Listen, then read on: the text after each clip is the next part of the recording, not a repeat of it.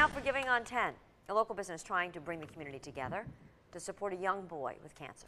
Riverview Orchards in Rexford is hosting a Family Fun Day fundraiser for a local six-year-old boy who's battling stage 4 kidney cancer. The event will run Saturday from 10 to 5 at Riverview Orchards, 660 Riverview Road. The day will feature food, beverages, hay rides, bounce house, scavenger hunts, raffles, ice cream eating contests, live music, all sorts of stuff. Free and open to the public. The fundraiser will directly support Ezekiel, Ezzy as he's known, McLean and his family. He's set to undergo aggressive medical treatment for his cancer, which has spread to his lungs. Ezzy has a love for dinosaurs, soccer, swimming, Black Panther, and Spider-Man. He's known to be as happy as he is brave. So to help the family out, check out the GoFundMe. Any donation can make a difference to this family going through a very difficult time with their young son.